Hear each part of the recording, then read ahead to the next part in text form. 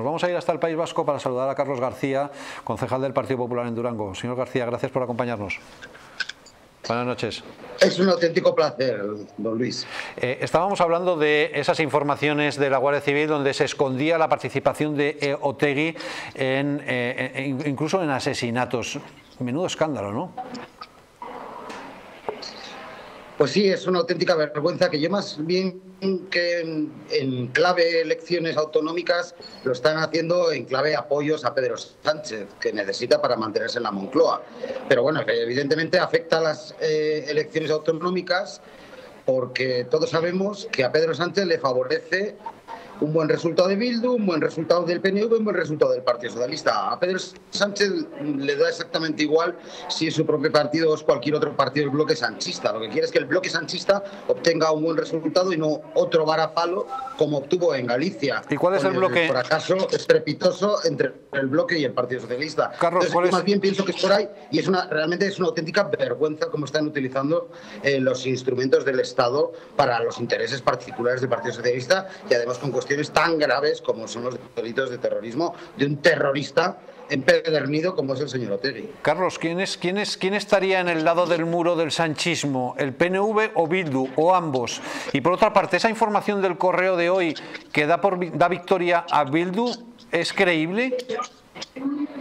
Sí, sí, posiblemente el más votado y el que más escaños obtenga sea Bildu. Ahora bien, si el Partido Nacionalista Vasco y el Partido Socialista eh, tienen mayoría, eh, no hay ninguna duda de que van a pactar.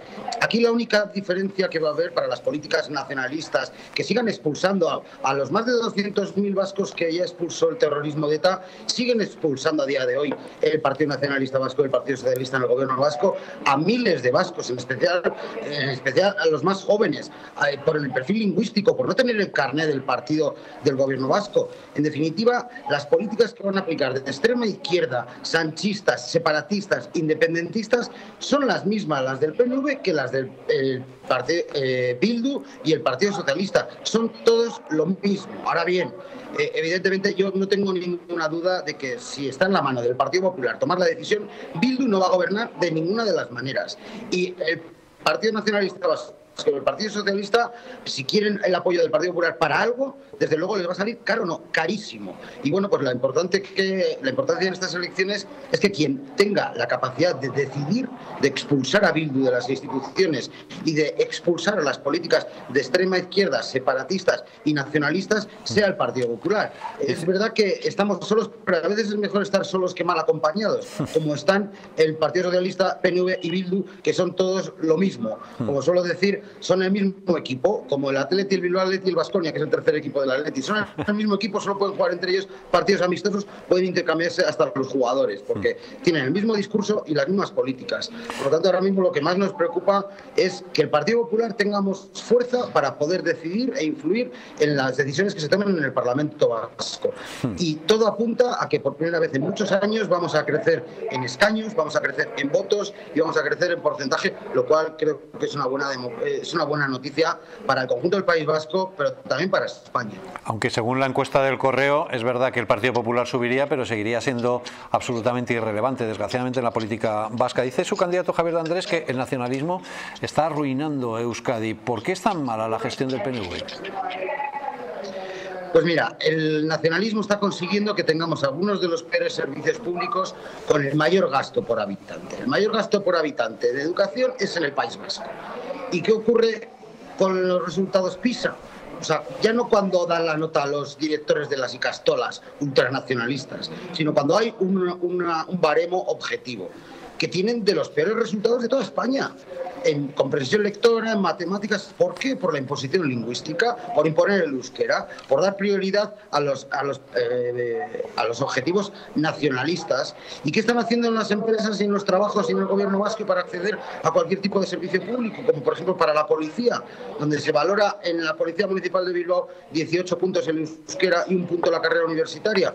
Pues expulsar a los mejores profesionales. Y del mismo modo ocurre en la sanidad sanidad. En la sanidad, con el mayor gasto por habitante de toda España, tenemos algunos de los peores datos en cuanto a, listas de espera y otros servicios sanitarios fundamentales para la vida de las personas. ¿Por qué? Pues porque se da más valor al euskera que a un máster. Hay 16 puntos al euskera para acceder como enfermera o como médico con la plaza fija en el Servicio Vasco de Salud y un punto a un máster. Por, por, lo tanto, es un auténtico des desastre lo que están haciendo. Es verdad que el nacionalismo ha pasado de ser un nacionalismo eh, racista por el hecho de la genética de la raza a ser racista en, eh, lingüísticamente hablando, cuando resulta que hay un, cerca de un 80% de los vascos que no se euskera y están expulsando algunos de nuestros jóvenes mejor preparados y descapitalizando a la sociedad, empobreciendo nuestra sociedad. Son miles de los vascos pues que se marchan fuera por culpa del nacionalismo y de estas políticas. Es muy grave lo que está ocurriendo en el país Y empobreciendo también los servicios públicos, porque cuando uno va a operarse de trasplante de corazón, mm, la verdad es que no le importa mucho si el médico habla euskera o no, sino si tiene capacidad y tiene experiencia en ese tipo de operaciones, ¿no? Así es, estimado don Luis. Lo único que supera el perfil lingüístico de euskera es el carnet del bachoqui.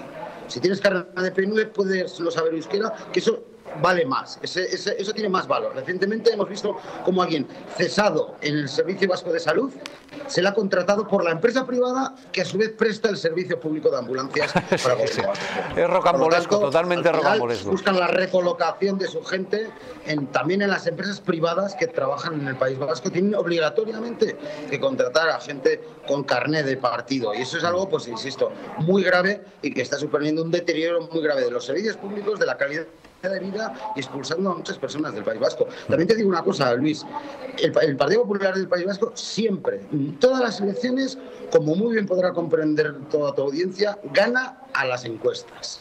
Todos sabemos cuando se pregunta en la calle a quién vas a votar, pues es mucho más cómodo y más fácil y más sencillo decir que vas a votar a Bildu, que vas a votar al PNV, incluso ya hoy en día hasta que vas a votar al Partido Sanchista. Y decir que vas a votar al Partido Popular pues, pues, pues evidentemente a día de hoy seguimos sin tener una libertad plena en el País Vasco y hay mucha gente que no lo dice y luego siempre ganamos a las encuestas, siempre sacamos dos eh, o tres escaños más de lo que nos dan las encuestas. Por eso no renunciamos a uno de nuestros objetivos, que es dar el sorpaso al Partido Socialista.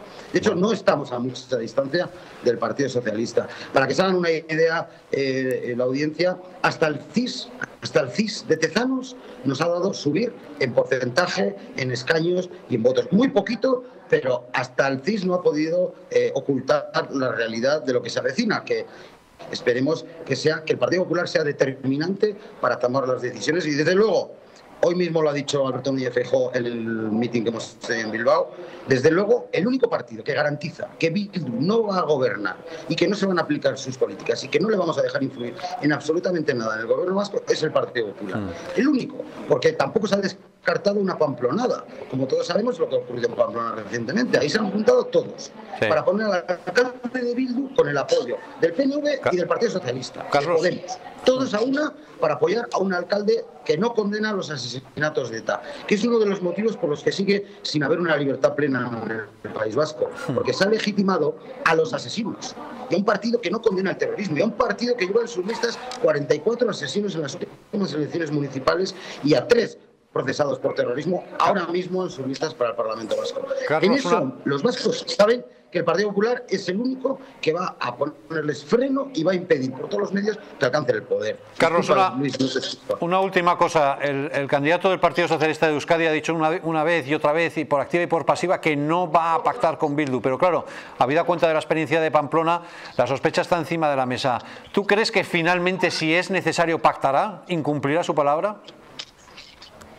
No, desde luego. Eh, hará cualquier cosa menos cumplir su palabra. Hará lo que le diga señor Sánchez, que es su amo y señor del partido sanchista. Por lo tanto, eh, no, no es absolutamente nada de fiar. El partido menos de fiar de todo el arco parlamentario vasco es el Partido Socialista, como lo es a nivel nacional. Pedro Sánchez, ¿cuántas veces dijo, cuántas veces repitió que no iba a pactar conmigo? ¿Qué es lo que ha hecho?